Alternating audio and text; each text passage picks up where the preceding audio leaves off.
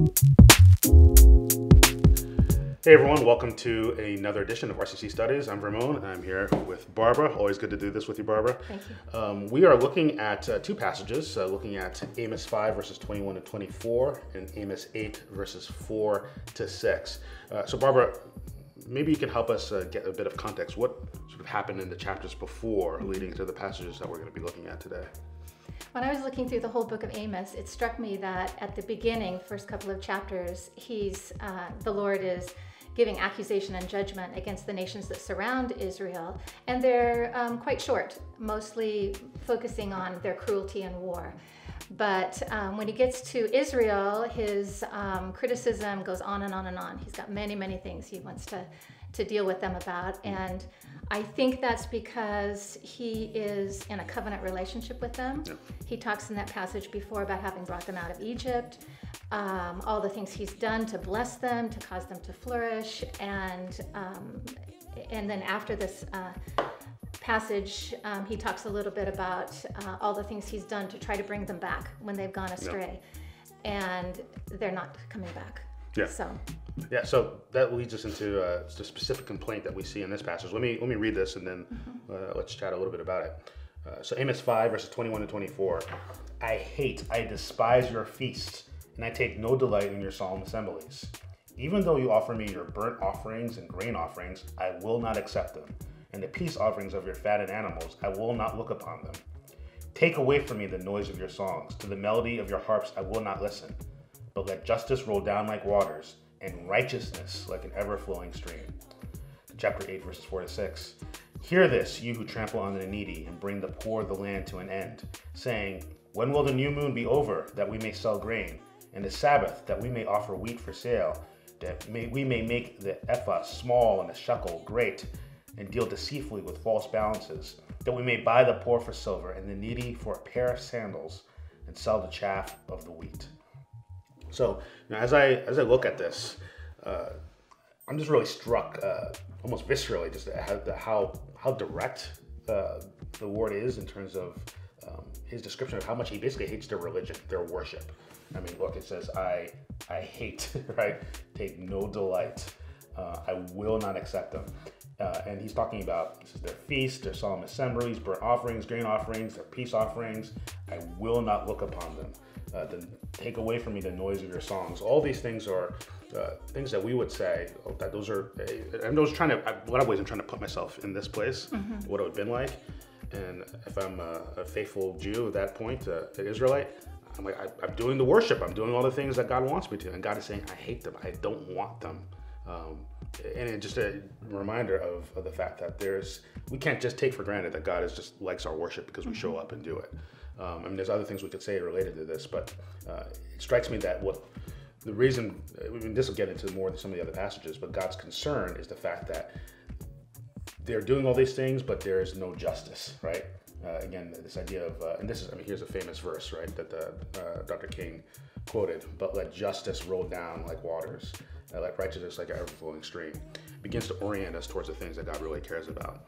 Um, but you you sort of touched a little bit on this this idea of covenant relationship. Mm-hmm. You, we were talking before a little bit about how you think this this factors into it. I think he's. Um, I think the Lord sees worship as a relationship, and there's no relationship going on here yeah. in this. Um, what do you mean no relationship? They they're not present it sounds to me. Okay. when you when you look down here it says they're um, they're saying when will the new moon be over that we may sell grain huh. um, and the sabbath that we may offer wheat for sale? They're they're they're not focused on god. They have other things in their mind that business that they're going to do and um, and there's no relationship on god's end. He says i'm not having this Business so, is not bad, right? What? Doing business. No, is business not is not bad, but you do have um, you do have the way they're doing business okay. down here. False balances. um, they're they're making the ephah small and the shekel great. They're selling chaff with the wheat. That's not the nourishing part. That's the part you throw out. Yeah. Um, so a connection between worship and like the rest of their lives, right? Right. Yeah. Like they almost disconnected it. Is that what you're saying? Yes, and I think that they're.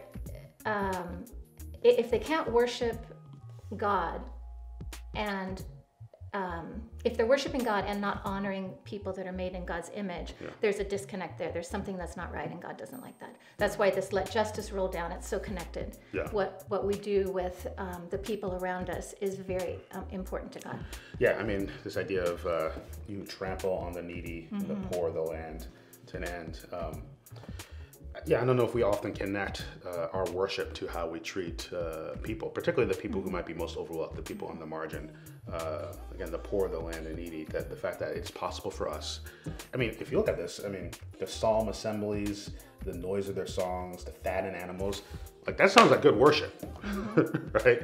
On the face of it, you would say like this is the kind of thing where you, I think, they'd, they'd say the people who showed up, this is amazing church, right? this was, uh, if we were, if this was happening today, look at them. I mean, the noise of their songs, of the fattened animals, they're bringing good stuff. They're doing all the things that would make you say, what a great worship service. And God's saying, pathetic, Yeah. terrible. Because guys is actually all that stuff is is really it's that's not the whole point of it. The, you might say all those trappings, if we can put it that way, only really matter to a degree in which it reflects a heart reality, and a heart reality that is actually demonstrated socially. Uh, I mean, this is if I, I think the concept of social justice does fit a little bit here, right? In the sense that how we treat people within our society, the justice and the righteousness that we do. He, in Hebrew, justice and righteousness are related terms. Um, that really, that's really significant. That really matters. I think that um, there are many things in the book of Amos that he is uh, calling them out on. Um, they're doing this kind of worship, but at, at the same time, they're not exclusively worshiping God. There's Yeah. passages in Amos where they're also worshiping um, other gods, and certainly in, in this passage here, they're worshiping money Yeah. um, as the, the primary goal in their lives. Yeah. Does this make you? Um, I mean, should would you say that we as uh, today, as God's people today, uh, should take more? Uh, I mean, I don't. I, would love to speak for myself. It challenges me to think like, who? What are the ways in which I might be doing this? Because I think it's it's amazingly easy for us to to do like great worship, right? And think that we're just go through the motions of those different things, and yet not ask. Um, am I practicing justice and righteousness in a way that, it, like it says, roll down like waters, right? Yeah, it's a beautiful image. uh, like ever flowing stream. That's like it's really there. It's really present, abundant. It's not like a little bit of thing on the side. You know, hey, we helped this one person, but just know like it's almost part of our life, part of our worship, right? Worship seen as a daily thing. I mean, it makes me think of the marginalized in our communities. Uh, I'm thinking of immigrants. I'm thinking of refugees. I'm thinking of homeless. Uh, I'm thinking of kids in foster care. Um, like who are the poor in our community, right? Uh, in our land. Uh, and what are the ways in which my worship shows that I see them, I notice them, I treat them as being made in the image of God. Um, I know that's just something, some of the things that just strike me as I, as I look at pastors like this. I think there's a power dynamic going on here. You have you have people with power taking advantage of people without Oh, power. wow. And I think if we look at our lives and say, where do we have power? Yeah, And are we um, using that power for justice and righteousness? Yeah. Or are we watching out for those who don't have power? Yeah. Or are we just using that power for our own advantage? yeah. Power is not bad, but what do we, how do we use it for? Do we use it for the benefit of others? Yeah. That's good, Barbara. There's a lot more in Amos. No, Amos, is a great book. Uh, Yeah. I encourage you uh, to take time to, to read through it, or even uh, get one of those Bible audio apps. Uh, listen through it. Uh, benefit uh, benefit you in a lot of ways. It will challenge you. Be ready to be challenged, provoked, uh, but in all the ways that uh, we need to be if we're going to be faithful to the Lord. Great. Thanks for watching. Thank you.